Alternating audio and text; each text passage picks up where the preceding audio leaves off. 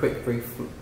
A moment of filming or a moment of film? A moment of filming, or in the film. There you go. I'll let it. I'll I'll make it broad.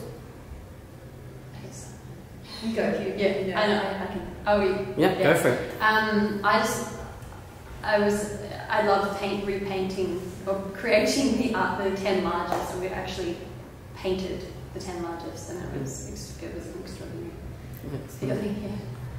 I love the painting, and I also love the improvisation. Lasse Hallström, the director, was very encouraging from the very from the very beginning of, of improvisation as a strategy, mm-hmm. and I just found such joy and freedom in playing, and it allowed me to explore the character in a new way, and and I think it kept a kind of animism to the scenes because everyone was able to sort of not get rigid about what they were saying and feel feel free, and that, that's something I really.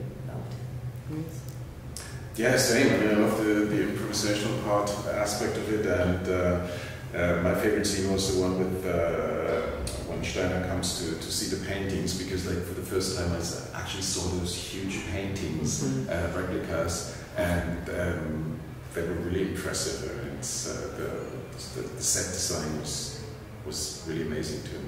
Yeah, Amazing. incredible.